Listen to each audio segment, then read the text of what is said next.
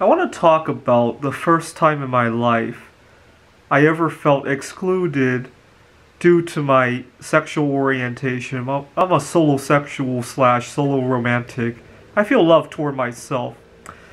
And um, I actually didn't notice it until I was 23, but now looking back in retrospect, I've been solo sexual for most of my life, as far back as my memory will go at least.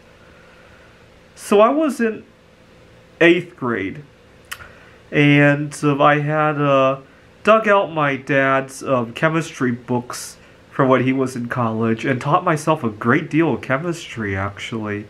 This was back in the days of dial up internet where you could still find more information online. It was slow, there wasn't a whole lot of it. There wasn't a whole lot of um, amateur content, right? You didn't you didn't do a chemistry experiment at home and shared it with a million people like you do nowadays, right? But there was a lot of professional content at least.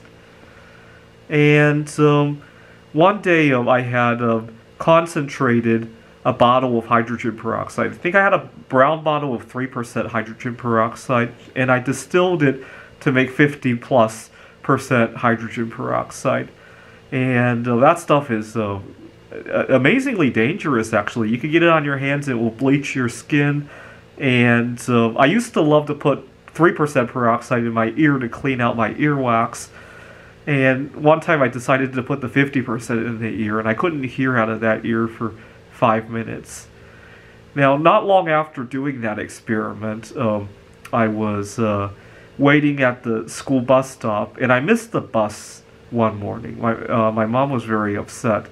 And the reason I had missed the bus was because the kids I was waiting with, right, I had a, uh, a few classmates who were around my same age. Uh, I think one of them might, might have been a year younger, the other one was the same year as me and uh, they they started talking about some kind of date, right? Uh, they, they, they, they, had already started messing around. I didn't want to hear it because they didn't want to listen to me talk about my chemistry experiment expeditions, and uh, so I decided to walk away because I, I didn't feel our, uh, our, our conversation was two sided. They, they just wanted to talk about uh, who kissed who, and when I talked about how I almost blew up the house or uh, why my, my skin is all rashed from touching the, hydrogen peroxide. I didn't want to hear about that.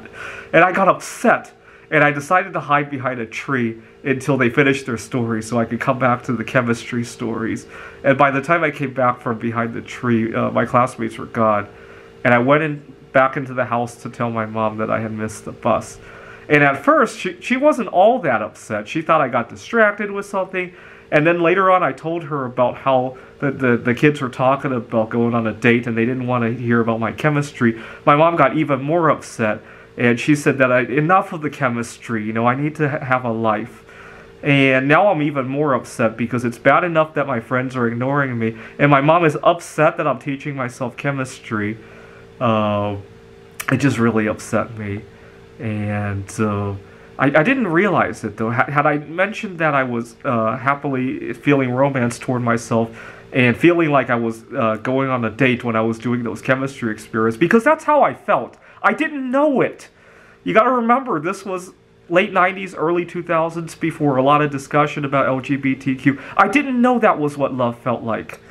And now looking back, uh, I uh, uh, I want more people who are at that age, right? If they're doing that, to understand what they're involved in and to speak up for themselves, right?